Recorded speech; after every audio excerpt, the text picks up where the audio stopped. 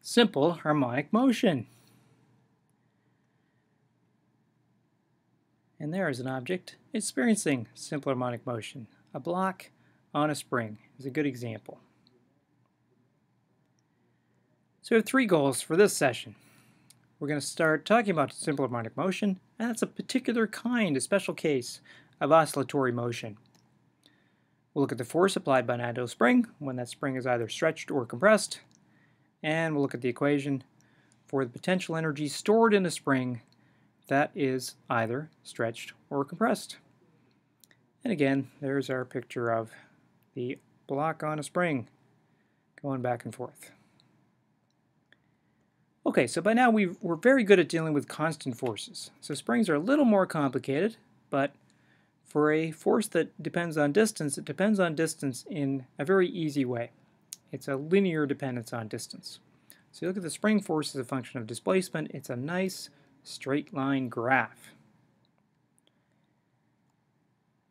So if we measure all distances from the equilibrium length of the spring, that's where zero is on the graph, then the force is given by what we call Hooke's law. And Hooke's law says the force is opposite in direction to the displacement from equilibrium and proportional to it.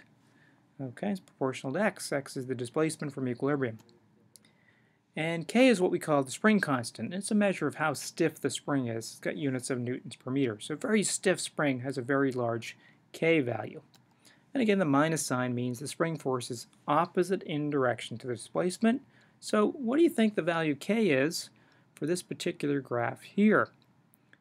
And so what are we asking for? We're really asking for the slope of that line. Okay, and you can see that is 10 newtons per meter. Okay, so, well, the slope itself is in fact minus 10 newtons per meter, but the equation is F is minus kx, so the k itself is just 10 newtons per meter. Okay, so let's say we attach this spring to a block. The block is on a frictionless surface. So if we want the block to reach x is 1 meter, starting from x equals 0, how much kinetic energy do we have to give it? 5 joules, 10 joules, 20 joules? What do you think? What does it depend on? This graph can be very helpful. So what you want to think about is that the work is the area under the force versus position graph. Okay? So what we need is enough initial kinetic energy so that when we add that kinetic energy to the negative work done by the spring on the block, then the kinetic energy at x is 1 plus 1 is 0. Okay, then it'll come to rest and we'll be fine. Okay, so the magnitude of the work done is the area under the curve, but that's just a triangle. So that's 1 half the base, which is x, times the height, which is kx. So we get a work which is minus a half kx squared. Okay, so in this case the work is simply minus 5 joules, and so we need 5 joules of initial kinetic energy. So the block makes it all the way to x is 1 meter. Okay, so now the block comes to rest at x is plus 1 meter. Well, what happens next? Okay, so of course what happens is that the block is only at rest for an instant. It's feeling a force in the negative direction from the spring. So when it gets to x is 1, comes to rest, it starts moving in the negative direction because it's feeling that force in the negative direction. So what is its kinetic energy when it gets back to x equals 0? Okay, well now you get all the energy back. It comes back to 5 joules. Okay, but now the velocity, of course, is in the negative direction. So the spring force is conservative. Okay, so we give it 5 joules at x equals 0. It goes out to x is 1.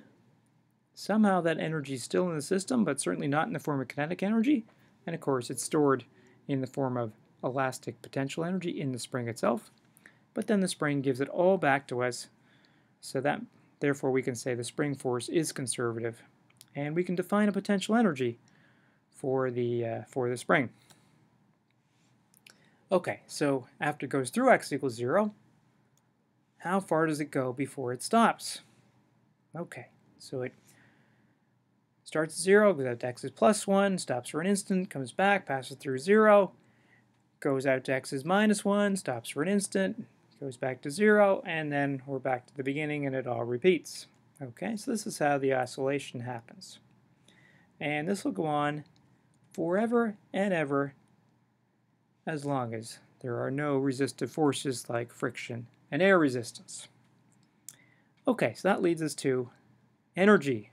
And so we can define an elastic potential energy, and it turns out to be 1 half kx squared.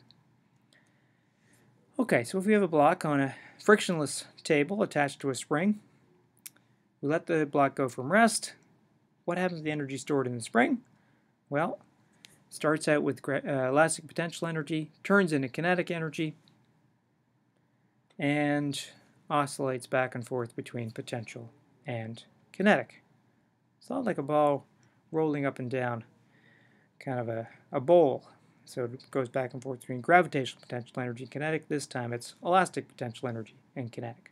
So let's say we want to know the maximum speed of the block. So we can say maximum potential is the maximum kinetic. Those happen at different times, right? Maximum kinetic where it's passed through, through equilibrium. Maximum potential where it's at rest just for an instant at the turnaround point. So then we can say 1 half kx max squared is 1 half mv max squared. And we can rearrange to get the maximum velocity is the maximum displacement, also known as the amplitude of the oscillation, times this factor of root k over m. So the stiffer the spring, the faster it's going to go. And of course, the heavier you make the block, the more massive it is, the slower it's going to go. That makes a lot of sense. And of course, those factors of a half in the equation just simply canceled out.